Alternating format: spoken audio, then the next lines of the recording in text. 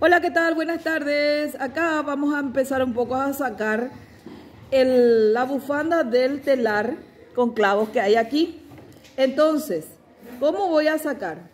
Voy a sacar de cada clavo primero. Ahí saqué de estos dos, ¿cierto? ¿Qué voy a hacer? Voy a estirar el hilo y voy a pasar por los rulitos. Ahí saqué ya uno y ya se va cerrando. Entonces, acá voy a sacar del otro clavo, voy a poner en, el, en mi aguja de crochet de esta manera, le voy a girar el hilo al... Eh, le voy a girar el hilo al